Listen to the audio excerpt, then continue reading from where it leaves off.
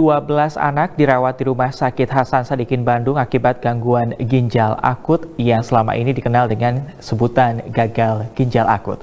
Untuk mengantisipasi anak terserang penyakit tersebut, masyarakat diharapkan mewaspadai beberapa gejala dan tidak mengkonsumsi obat seperti paracetamol secara berlebihan.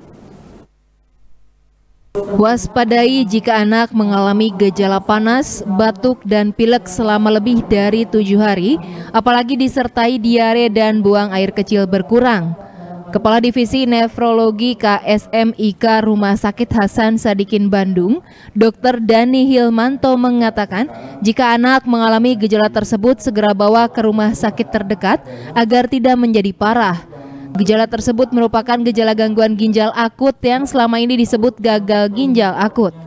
Dokter Dani pun menegaskan masyarakat tidak perlu takut memberikan anak obat-obatan seperti paracetamol cair asalkan tidak berlebihan dan sesuai dosis karena hingga saat ini penyebab penyakit tersebut belum diketahui pasti. Tapi sebaiknya hindari paracetamol yang mengandung etilen glikol. Oke, saya kira ini Pak baik sekali. Jadi uh, pertama eh, pedoman tata laksana tadi sudah menjelaskan bahwa apabila masyarakat mengalami atau anaknya terutama di bawah 6 tahun mengalami demam, batuk pilek, diare, memanjang lebih dari tujuh hari, hati-hati.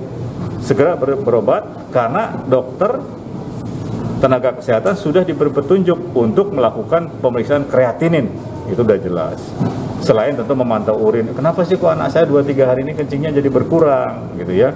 Kan ada pakai pempes rata-rata. Kok nggak basah-basah? Itu harus hati-hati. Nah, tetapi yang juga perlu saya katakan adalah bahwa terkait dengan yang sekarang hingar-bingar di masyarakat tentang penggunaan obat-obatan tertentu masyarakat tidak perlu panik. Ya selama itu digunakan dalam dosis yang terukur Paracetamol itu kita bisa gunakan 10 sampai 15 mg per kilogram berat badan. Jadi jangan berlebihan. Atau jangan keseringan. Kadang-kadang orang tua ini penasaran, kok anak saya nggak turun-turun panasnya? Belum. Kan paling cepat 6 jam. Belum 6 jam udah dikasih lagi. Itu yang mengakibatkan toksisitas namanya.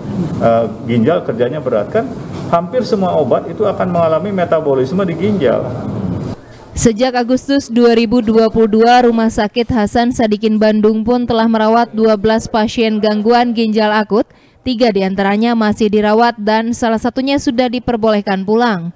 Umumnya pasien berusia di bawah 6 tahun, tapi ada juga yang berusia 13 tahun. Staf Divisi Nefrologi KSM IK Dr. Ahmed pun mengatakan pihaknya berharap pemerintah membuat program pemeriksaan urin khususnya untuk anak secara rutin agar penyakit tersebut dapat dideteksi secara dini. Kasus-kasus yang sebetulnya bisa dideteksi lebih awal sehingga apabila ada pemeriksaan urin rutin setiap tahun dan dibantu oleh pemerintah menjadi suatu jadwal rutin itu mungkin akan sangat membantu pada. Dokter Dani menambahkan untuk menginvestigasi penyebab penyakit tersebut, Kementerian Kesehatan akan berupaya membentuk Satgas. Budi Hartati, Bandung TV.